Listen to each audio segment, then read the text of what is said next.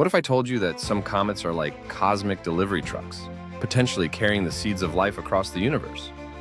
Yes, these icy wanderers might be the galactic hitchhikers that brought life to Earth. Imagine a comet, a dirty snowball zooming through space, packed with organic compounds, those essential building blocks of life.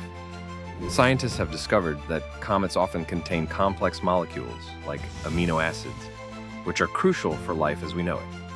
It's like Mother Nature's version of an interstellar Amazon delivery service, dropping off packages of potential life ingredients on young planets. Picture this.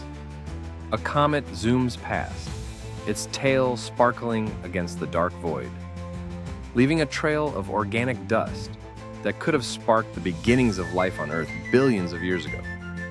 As these comets crash landed, they delivered their precious cargo, mixing with the primordial soup that eventually led to the evolution of complex organisms.